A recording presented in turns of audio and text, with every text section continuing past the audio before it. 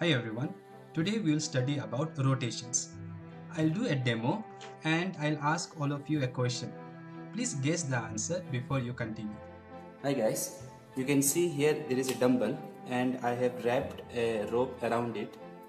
So the question I have for all of you is if I keep this dumbbell at rest right now and then I pull this string, you can see the way it is wrapped. If I pull this rope towards me, towards me means this side, will it roll towards me or will it roll away from me? So please make a guess. I'm sure you all made a guess regarding the answer of the question, but to know which is right or wrong, let us first learn one concept in rotation. You all have played with seesaw in your childhood days, and you can play even now. And imagine this is the pivot. This is the point about which the board can rotate. Now, if you apply a force this side, by sitting here, your gravitational force will make the board rotate this way. I hope all of you agree to that. So if you sit here, your force of gravity will rotate the board this way. That is your clockwise rotation. What about if you sit here? If you sit here, then your force of gravity will create a rotation this way.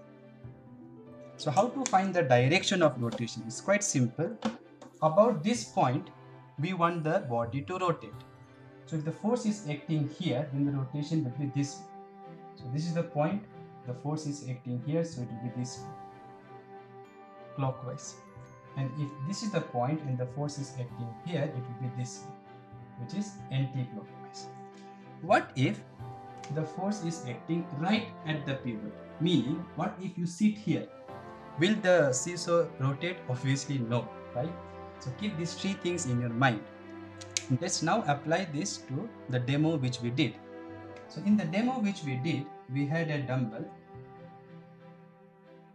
something like this, and we tied some thread over it and it was pulled.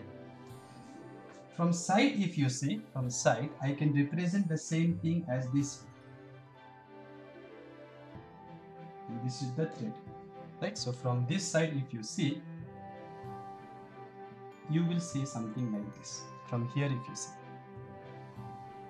Okay? So now let us see the various forces which may be acting on the dumbbell how those forces are trying to rotate the dumbbell about this point. Because i know if there is rotation this way up this way then i know it will go I was pulling it this way, right? So if, if the rotation of the dumbbell is this way, due to the forces, then I know the dumbbell will come towards me. If the rotation is this way, about this point, then the dumbbell will go away from me, right?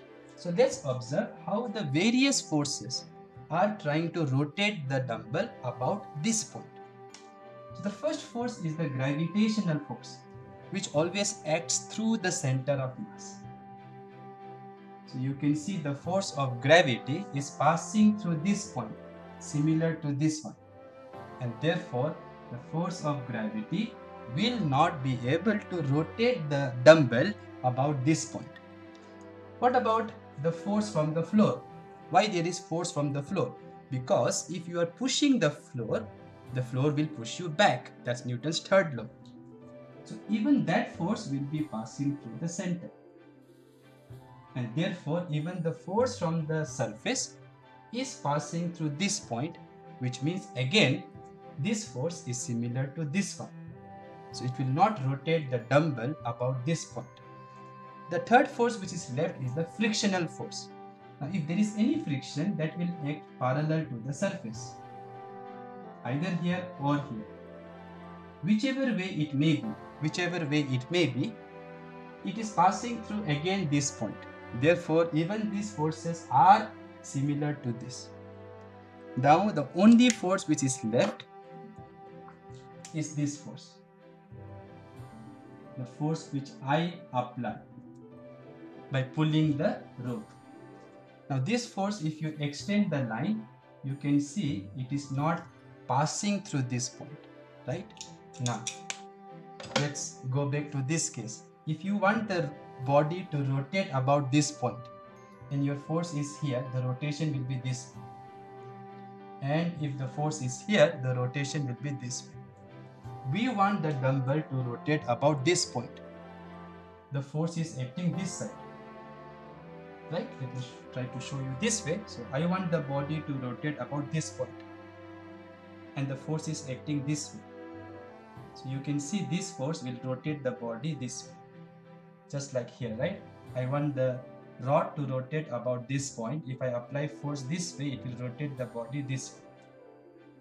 So similarly about this point my force will rotate the body this way. And therefore this whole thing will rotate this way.